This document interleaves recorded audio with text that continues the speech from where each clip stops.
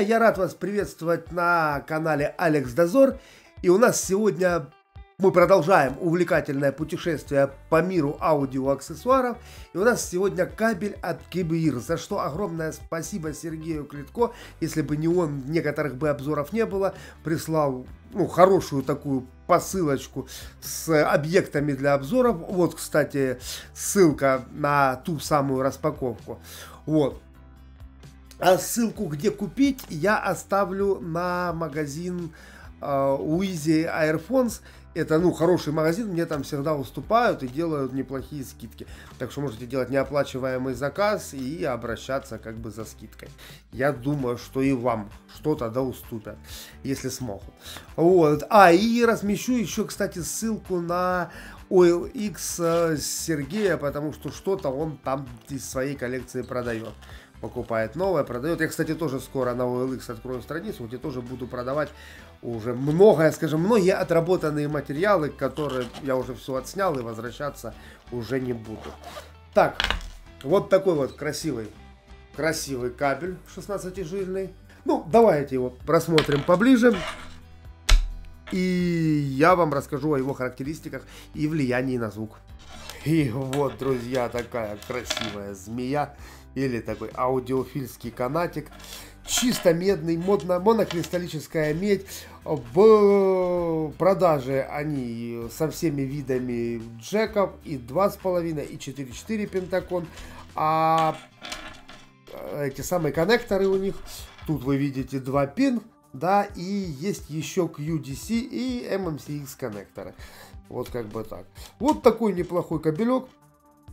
Вот логотип говорит нам о том, что это КБИР. Вот такое вот для езды не, не бусинка, а шайбочка, скажем так, для утяжки под подбородком. Ну и такой вот нормальный, симпатичный, пластмассовый, пластиковый. Ну, больше мне пластмассу напоминает. То есть как бы коннектор. Все сделано достаточно как бы просто и, и со вкусом. Все сделано в принципе отлично. Это были его характеристики. А теперь я вам расскажу, как он влияет на звук. На звук он влияет, вот там тоже в магазине указано, что он улучшает э, э, бас и средние частоты. Ну, скорее всего, средние частоты имеются в виду те, что ближние к НЧ, то есть э, средние, близкие к НЧ, то есть к басу. Ну, мид-бас, в общем, а то я загнул крепенько. И действительно так оно и есть. Но, знаете, вот мне чем действительно понравился этот кабель, так то, что он э, не сгущает краски, не делает как бы более такую как бы жирную какую-то подачу, насыщенную, плотную. Он просто добавляет немного веса, немножечко тяжелей становятся низкие и немножечко тяжелее становится такой как бы жестче мид-бас. Я, кстати, думал, что это будет что-то подобное ну, нас в скором времени ждет большое сравнение кабелей. Я к Новому году постараюсь все эти видео, все сравнения, все топы. Ну, если не к Новому году, то после. У меня как раз декабрь-январь в месяц. Вот в эти месяца я постараюсь все систематизировать, все разложить по полочкам. Я боялся, честно говоря, этого кабеля. Я думал, что это будет, ну, если вот этот выдает как бы такие... Ну, вы видели на него обзор. По-любому обзор на этот кабель выйдет после этого. Сейчас ссылочка именно на обзор этого кабеля. Он крепко как бы так вот сгущает, делает жирным. Вот то, что я все только что рассказал, что не делает этот кабель, делает вот этот кабель. Вот. И я побаивался, но мне, честно говоря, вот этот кабель понравился больше. И я не знаю, у меня уже закрадываются смутные сомнения, что может тут какая-то как-то спаяно неправильно, может как-то тут э, что-то куда-то попало, может ну, то есть, эм, кто его знает. Но мне кажется, что, в принципе, этот кабель, наверное, так как он звучит у меня, что он так звучать не должен. Ну ладно, это не обзор на этот кабель, это мои мысли по поводу этого кабеля. Что сказать про этот кабель? Если у вас ультра светлые наушники, которые вы бы с радостью хоть немного, но притемнили, добавили им веса, ну то есть понятно, что это и на источнике, и на аква, э, вот, аква, и на аквамене можно тоже поплавать, если что.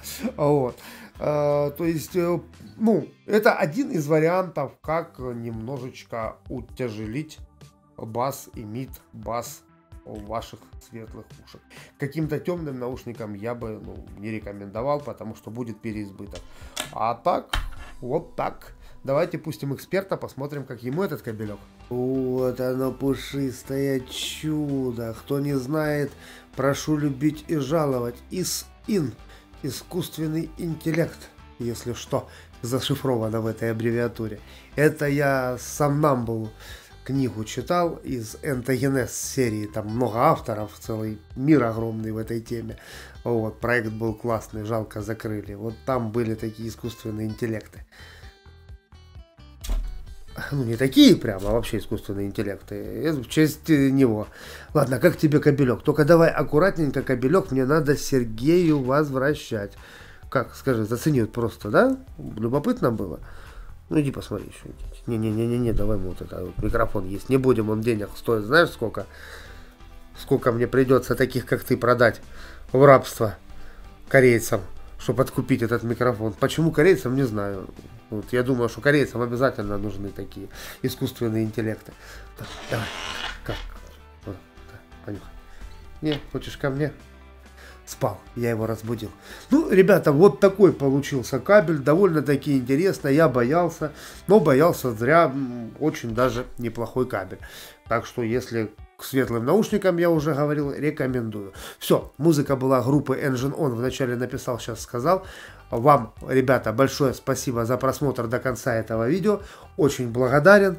Все, до, до скорых встреч в нашем эфире. Пока.